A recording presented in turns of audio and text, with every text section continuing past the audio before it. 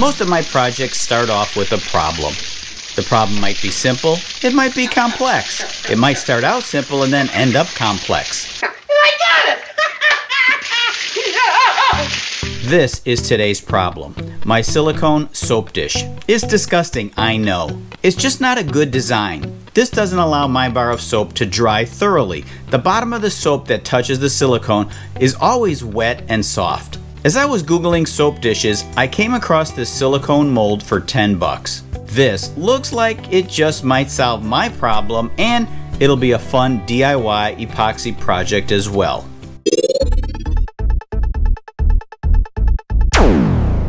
This week I made 5 soap dishes. I only needed one, so I got a little carried away. but they were a lot of fun. They're fast to make. You can be really creative with them. They make great gifts or you can even sell them on the side. This here was my first attempt. I did get a little heavy handed on the glitter and it tends to collect at the bottom of the mold. I got better on the second one. This one's a little more simple. I just used some gold mica powder mixed with the epoxy. This blue one is my favorite of the three. I used some mica powder on this one as well. For the fourth soap dish, I thought it would be a fun idea to place hardware and other items inside the clear epoxy. I love the concept, but I did make a mistake on the execution. When I was placing objects into the mold, I pushed them in too hard and when it dried there was a bulge. It's still usable, but not perfect. I tried a fifth soap dish, carefully placing 32 interesting items inside. Some are personal, like a 20 year pin I got from the company where I work, and my Alley Picked logo at the top. After I made the soap dish with the personal items in it, it got me to think. You might have some small items that belong to a loved one, or maybe even a pet that passed away, like the name tag on their collar. You can put these items into some clear epoxy in your own soap dish. It's a nice way to keep them in your memories.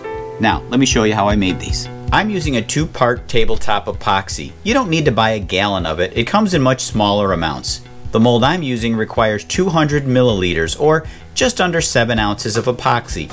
That's 3.5 ounces of part A and 3.5 ounces of part B. On my first soap dish, I forgot the volume that I needed. I ended up mixing up twice the amount required. So instead of wasting it, I made some coasters out of it. I'm going to add some yellow ink to the epoxy. So as you can see, you can make these any color you want. I also had this silver flake that I picked up, so just for fun, I'm throwing that in as well.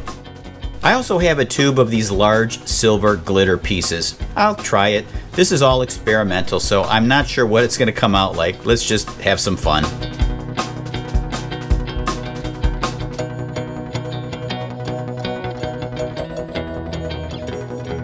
In less than 12 hours, I was able to remove it from the mold, which of course is reusable.